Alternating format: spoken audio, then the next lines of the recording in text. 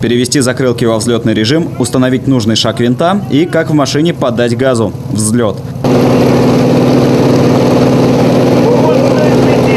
Грузопассажирский самолет Ан-2 совершает вылеты в зависимости от класса пожароопасности в регионе. Сейчас он третий, поэтому самолет летает раз в три дня.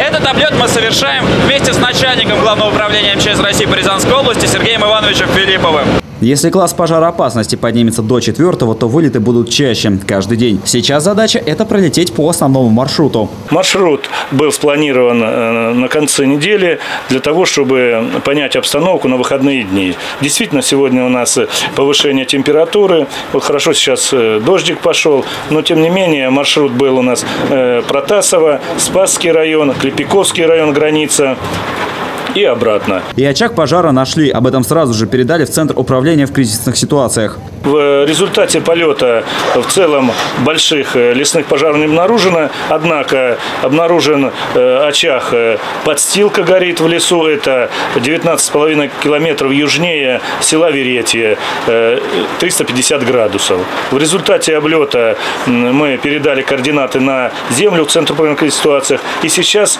направлена группировка сил и средств для того, чтобы ликвидировать данный пожар. При таком очаге возгорания есть и свой минус техники. Туда сложно дойти, расположенном в труднодоступной зоне. После нахождения одного очага пожара отправились дальше по установленному маршруту. Вот только последовать по нему далеко не получилось. Из Центра управления в кризисных ситуациях поступила информация о двух пропавших грибниках. Вот сейчас буквально мы вылетели, пришло сообщение от Центра управления кризисных ситуациях, что два потерявшихся грибника в деревне Уховска Спасского района. С помощью авиации мы также можем, э, исходя из координат телефона, найти потерявшихся, передать информацию на землю. Заметить грибников в зеленой зоне сложно, говорят специалисты. Тем более сейчас, когда они чаще всего надевают камуфляж для такого похода. Вот уж действительно тихая охота. Если грибники одеты в яркую одежду или они разожгли костер, то заметить их реальней. В противном случае придется ориентироваться на самолет МЧС. Когда грибники его увидят, то позвонят 112 и по координатам спасателей и сориентируют. На маршрут вернулись после небольшого крюка, но и здесь его пришлось скорректировать из-за погодных условий. Вот так выглядит дождь с высоты птичьего полета. Кстати, сам самолет Ан-2, по словам специалистов, может подняться на высоту 4000 метров, но оптимальная для наблюдения 200-300, но можно и на 500. По окончанию облета самолет заходит на посадку. Происходит это куда сложнее, чем взлет. Но для экипажа это был легкий удар шасси о взлетную полосу. Самолет сел. Грузопассажирский самолет Ан-2 вылеты совершает часто, и маршрут всегда разный.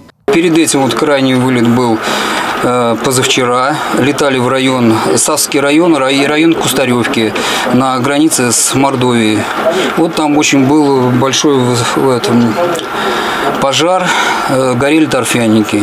Сотрудники МЧС начинают патрулировать территорию региона с воздуха еще с апреля, когда начинается половодье. В 2019 году, правда, таких вылетов было не так уж и много, с половодьем повезло. Теперь патрулируют лесные массивы, чтобы быть уверенным в том, что крупных лесных пожаров не случится. Валерий Седов, Игорь Глотов, телекомпания «Город».